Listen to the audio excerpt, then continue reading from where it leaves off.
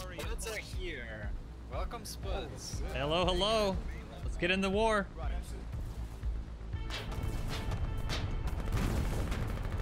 Retract, retract. Yeah, yeah. Yeah, AT turret. AT turret's down, AT turret's down. Go, big push, big push. Big push.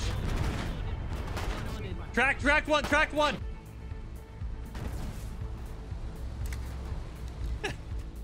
I want to first say thank you so much for 50,000 subscribers. Jumping into the world of Foxhole has been an incredible journey, and the amount of support for the content has been absolutely insane. We've actually even blown past 50k and are on the way to 52,000 subs at the time I'm recording this, so thank you again. I'm actually going to be dialing back my streaming for the next few weeks so I can use that time to make more videos, and I'm just so excited to be able to say that. There's a lot to come, and I definitely want to make sure they're quality, but enough of that. Thank you guys again, and enjoy the episode. With the introduction of artillery, a whole new wave of combined arms operations opened up across the fronts. Our neighbors in Endless Shore had stabilized and pushed the colonials back over the river to the south, while over to the west, the wide open plains of the Deadlands had seen a significant amount of back and forth.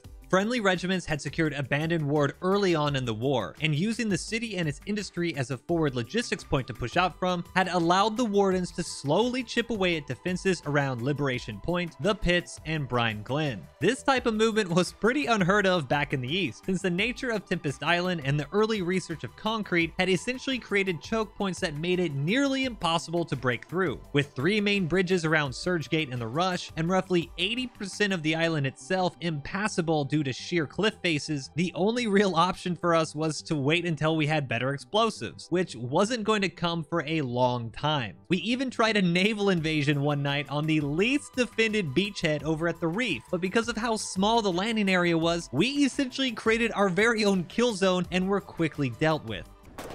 Yeah, yeah. Oh, I don't think this is happening. Oh my god, dude.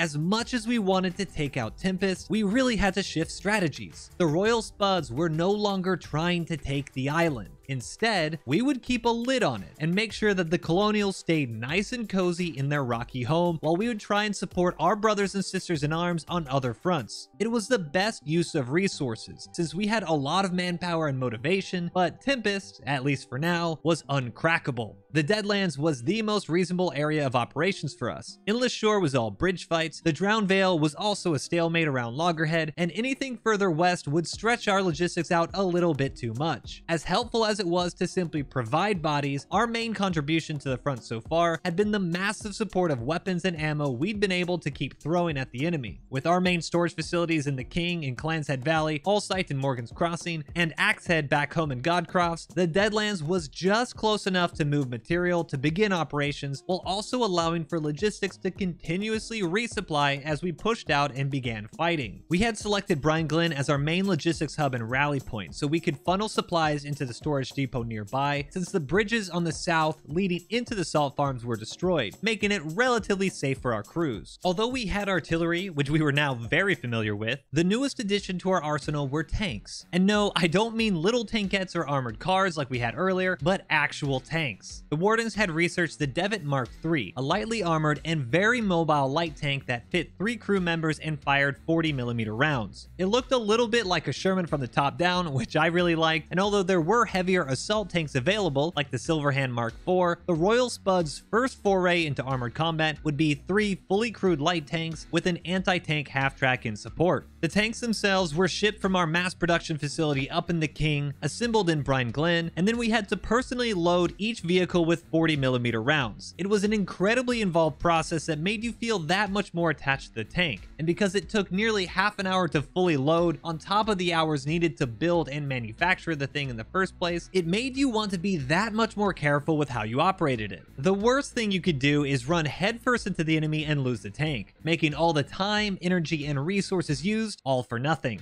In addition to the tank itself, we also had to put on padded boiler suits, a tanker uniform that allowed us to carry our go-to tank kit, a hammer, a set of binoculars, two bandages, a gas mask with a filter, four extra filters, and 60 BMATs. This would allow us to scout ahead, survive gas attacks, repair any damage, and also stop bleeding if we were to take small arms. Just as we were finishing up, an Italian Silverhand rolled up to rearm at Brine Glen as well. This tank has two main guns in the front, a 40mm turret with 360 degree rotation, and a 68mm hull gun down below. It's based loosely on the French Char 2 from the end of World War I, and the Silverhand was the tank that decided fights. It had a huge health pool and great firepower, so combined with our maneuverable light tanks and the AT half track as well, we were a formidable group. The Italians were on the way to the front as well, so we waited for them to rearm and then set out to our target, the salt farms the last colonial holdout in the Deadlands, and also acting as the main corridor into Umbral Wildwood. We moved out west to join the main assault in Sun's Hollow, and unbeknownst to us, we'd be taking part in the largest armored battle of the war up until this point.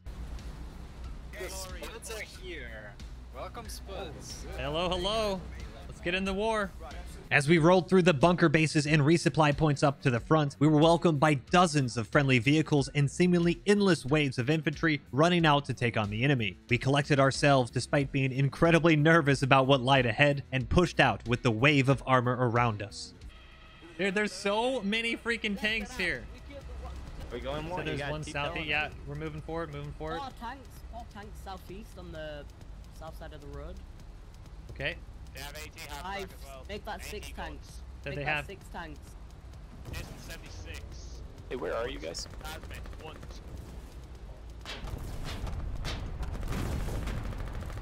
These many tanks. Pushing a bit, keep Yeah, we got got one on the side. Keep pushing. Keep the battle line. All right. Keep it. Keep going. Back up, back up. All right, let's peek. Let's peek this. They have one Alright, we're that's trying this. to fight right now.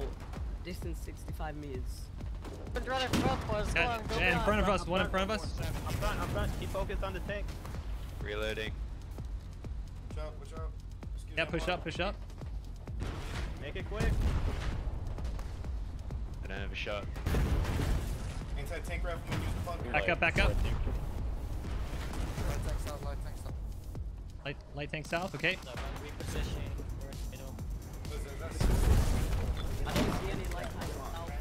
Yeah, enemy infantry in the trench south. Yo, you got them charging southeast, southeast. Close, close, close. In the trenches south. All right, let's push with these guys when we're uh, up at 80 or 85. a, there's a tank there, 54 meters south. Actually, Shigera, can you dismount and get double reps? Pushing.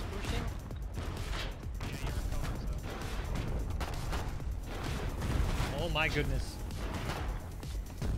We're.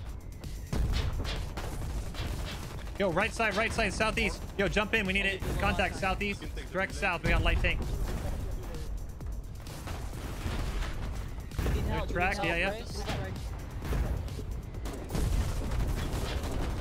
I deflected right side. Why did we decide to go? It's okay. Just reset. High ball. All right. It's okay. Clear comms. We're still in it. Silver hand to protect. A silver hand to protect that. Yeah, yeah, yeah. Protect the silver. Drive forward. Back up. I can't stay out of range. We need back up and repair. Back up and repair. All right, let's push up. Uh, should I give you my mats? Yo, left side, left side, east, east, east.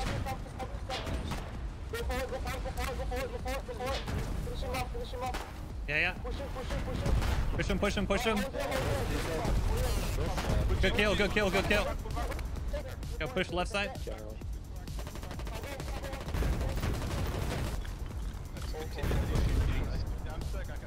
All right, drive forward. Reloading. Push, push, push, push, push, push. Push with it, push him. Ignifist.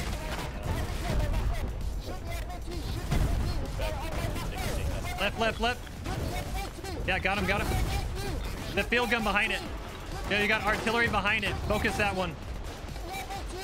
Artillery in front. Yo, one artillery down. You got one tank on the south road. Yo, back up, back up, back up, back up, back up, Shigura.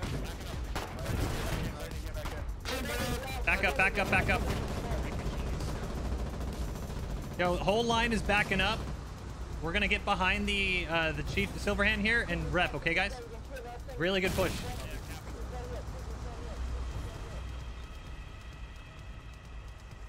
Hold here. Bernie, Shagira, reps, please. If you need BMATs, I can drop. Really good work, guys. We're holding. We're waiting for uh, the silver hand, okay? The Royal Spud's first armored engagement was intense, and unfortunately for us, we learned the hard way that tanks not lined up in formation are easily picked off and dealt with. One of our Devitts was unfortunately tracked and killed, but that did look to be the only Warden casualty, with three enemy light tanks, one anti-tank field cannon, and a mobile field artillery piece all destroyed in the assault. Not a bad trade at all, and while we did take a moment to reset, repair, and refuel, we had to keep the pressure on. As we rejoined the front, a stolen Scorpion and friendly infantry were holding our gains, and as much as we wanted to continue the assault, day was quickly turning into night, which made tank fighting incredibly dangerous. With reduced visibility and plenty of wide open terrain to allow for infantry rushes, we elected to stand by until daybreak so no more tanks were lost. This did give us a chance to fall back to the nearby garage up north and repair our armor, which had taken a beating. In Foxhole, armored vehicles have various armor stages that increase deflection and reduce penetration chances, meaning that the stronger the armor, the less often you'll take damage. You can tell what armor stage you're at by simply looking at the vehicle, with the fully armored tank looking shiny and brand new, while a zero armored tank looks rusty and beat up, which we were currently at. With zero armor, almost everything that hit us would do full damage, making us incredibly squishy. To fix this, all we had to do was go to the garage and use 100 BMATs to fully repair. One of the main reasons why a frontline garage was so incredibly important. By the time we returned to the front, we were surprised to hear that we were no longer waiting for daytime and instead conducting a night assault, with the reason being, hey, if they don't think we're going to attack at night, we should probably attack at night. A thought process that I was totally on board with, so we floored it to get right back into the action. We're moving. Oh, there's uh, another thing. Both on the road, they're both on the road. At 70 meters, at one. Yeah, we got him. He's pushing on the road, southeast. Oh, range, no. Reloading, reloading. Yeah, reloading. All right, push up with the silver hand, my Sagira. gosh, what's happening? This is the most glitchy thing ever Back up, back up. Back up, Shigeru. Retract, retract. Yeah, yeah. tracked. Okay, pulling through. Please pull back on it. Back up, back up. Yeah, we're okay. Get in front of us, Scotty. That was it. It's... There's the guy, there's the guy. Run him over, run him over. Back, close, close, close, close, close. Run him over. Use your pistols. Oh my days. Kill him, please. Raise your pistols. I believe in you guys. Two tanks, two tanks at 70 meters at 150. What was that? 150 copy. 85. Okay. Azimuth 150 at 85 meters. Yeah, push up with. We're pushing up with the silver hand. Silver hand is dictating when we move. Yo, if the silver hand moves, we move. Left side, we got uh rifle rifle garrison. Left side.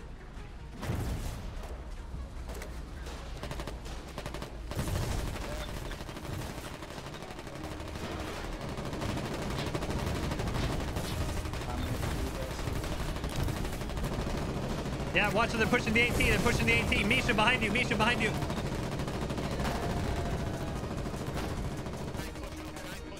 Yeah, take pushing. Push him. Push up to the AT. Push up to the AT.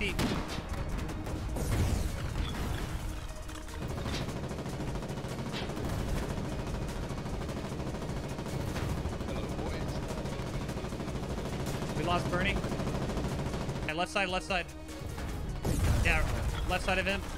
Squeeze us in the middle of these. Yeah, right to the southeast. Yeah, AT turret. AT turret's down. AT turret's down. Rifle garrison's good. All right, push back in the line. Left side of him. Good job. We're focusing rifle garrison.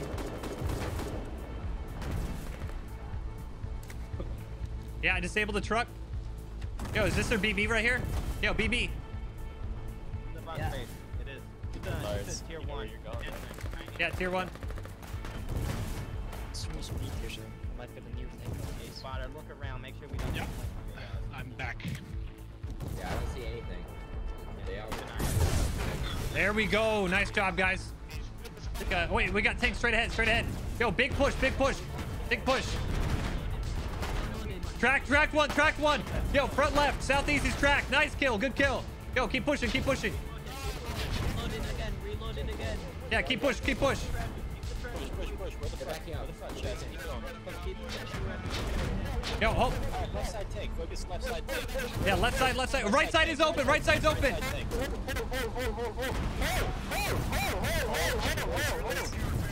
Back up, back up, Shigeru. Reverse,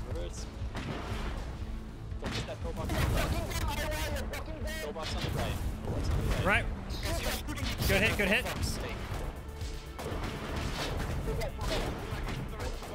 Yo, sticky, sticky, sticky. Got him, got him, got him.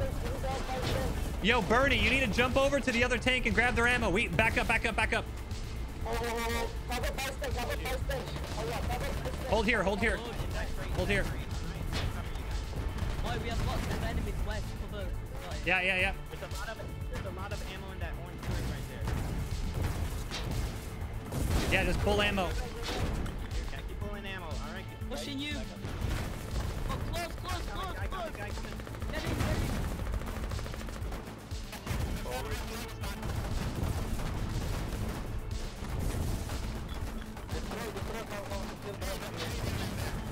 Oh wait, you got tank front, front south. Push, push, push, Push, push, push. push, push, this one.